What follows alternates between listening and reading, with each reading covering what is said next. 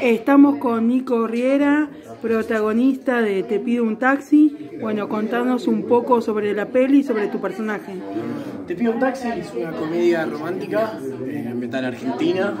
Eh, es un pibe eh, que se cree que es el ganador, es el que está con todas las chicas y se termina comiendo un golpe terrible cuando se encuentra con alguien quien se enamora y la otra persona le pone el límite y siente carne viva lo que él, eh, le genera a otras personas. ¿Cuánto hay de- del personaje en vos? Porque supongo que vos debes haber tenido todas las chicas que se, que se te tiraban, que eras un ganador nato y si alguna vez te pasó, te pasó eso.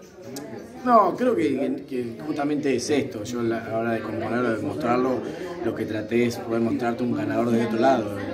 Que de afuera se puede ver como un ganador o como un pibe desapegado, pero que en realidad es una persona muy sensible y que no se quería abrir hacia otras personas, porque si no es muy raro que alguien no se quiera vincular.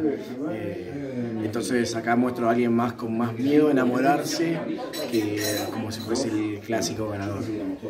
Claro, y, y bueno, esta frase es típica justamente de, de- de eso, de cuando querés descartar chicas, eh, Claro. te pide un taxi, va, Sí, chicas, medio- chicos, lo que sea. Hay ¿no? algo medio, como, algo medio fóbico de, de él, de, de- porque esa necesidad de tan rápido que se vaya de la casa, ¿viste? Entonces, justamente yo trabajé más sobre esa fobia de él, eh, que termina no teniendo mucho sentido lo que, le pasa. Entonces, eh, le pasa que se encuentra con, el personaje de Inés, con Sol, y le replan- se replantea la vida. Empieza a pasar que empieza a entender quién es, ni, ni- no le cierran las cuentas.